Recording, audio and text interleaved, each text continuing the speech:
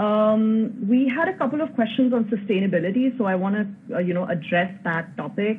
Uh, Rishabh Raj Singh asked us about sustainability, and so did uh, Ribby.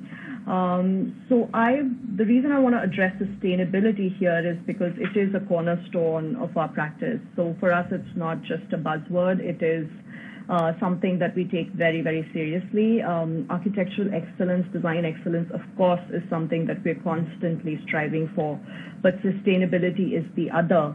Um, so I always say that sustainability is designed with common sense. So basically using your basic architectural principles uh, where you're designing with the site. If your site is sloping, then you're designing with the slope. You're, uh, you know, reducing excess excavation and uh, uh fill, earth fill.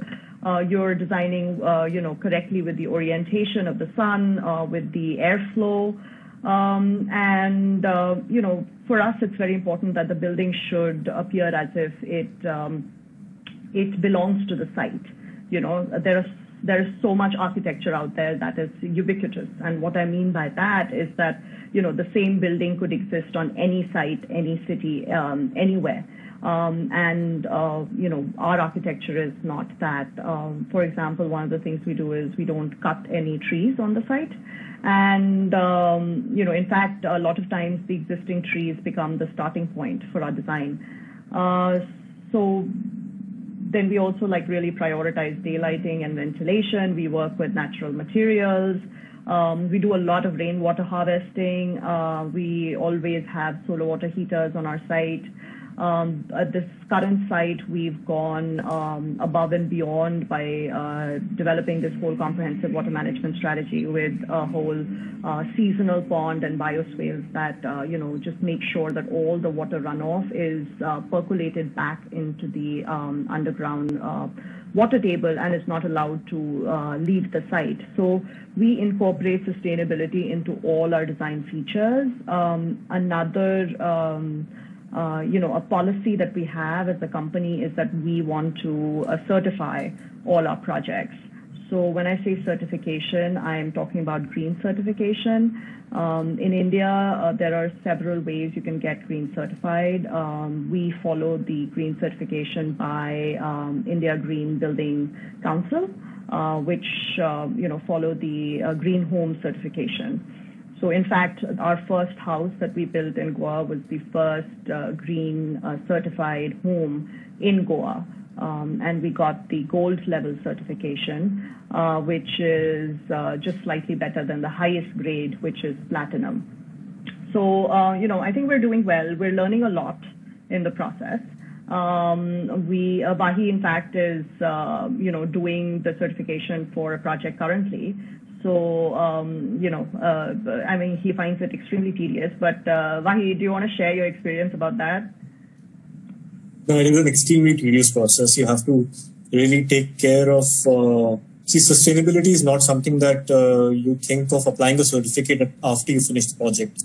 Uh, you have to think of it from the get-go. So as soon as the project starts, you have to figure out uh, where you're going to use the excavated soil, how you're going to uh, manage the waste, how you're going to uh, you know, lay out the site processes, the procedures for the workers to follow, uh, everything, including safety gear, uh, you know, uh, allocating the right resources, procuring the right material, everything comes under sustainability. And all that uh, documentation that you collect in the beginning has to be used for the certification process later on. Uh, so, and, and that is uh, the reason why we actually also uh, make you know make it a point to certify all our projects, even though it is a drain on our resources. Um, you know, it, it, it does require money, plus it requires a lot of man hours to do this uh, certification. But the point is that it kind of keeps you uh, in the check, you know. So since the beginning of the design, we know that, you know, these are the sustainable strategies that we have to follow to qualify for X number of points to get the certificate. And hence we are always, you know, be for every decision we make in the design and construction process, we're thinking about sustainability.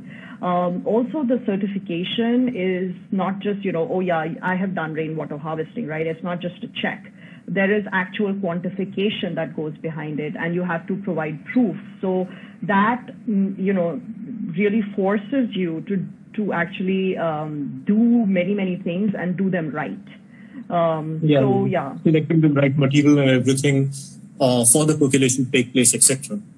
Yeah, exactly. So uh, we can talk more and more about uh, green certification. Uh, you know, it, it, that can be a whole session in itself. Um, if you guys feel that will help you, then uh, you know send us a message. If we get enough uh, you know requests, we may do that as well. Uh, just to um, round up the topic on sustainability, Rishabh seems to be this student who's an intern and who's really into sustainability and is really looking for a way to expand his knowledge on the topic. Um, I would really recommend Rishabh that when um, you know it is safe to travel again, I would really recommend that you go to Auroville. Um, it is uh, an unbelievable place. I did my architectural internship there, um, you know, maybe 20 years back but it, that was the place that um, really laid the foundation of my current, uh, you know, practice in sustainability and my lifestyle in sustainability. Um, so yeah, please, if you can do that,